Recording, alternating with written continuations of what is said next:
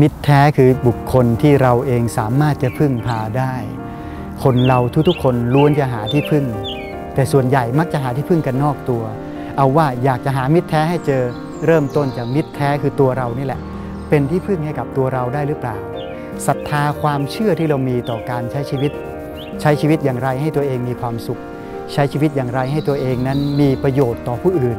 ใช้ชีวิตอย่างไรให้ตัวเองมีการพัฒนาและเพิ่มคุณค่าให้กับตัวเราได้ในทุกๆวัน